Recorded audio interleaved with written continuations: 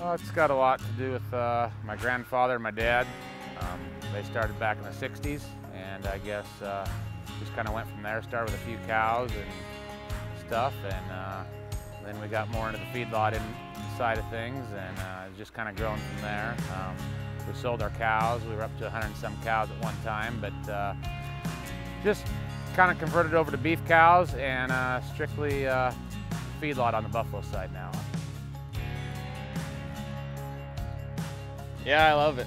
Uh, brought up ever since I was little and worked for him all throughout high school and ever since. And uh, love being out here and working with the buffalo and farming.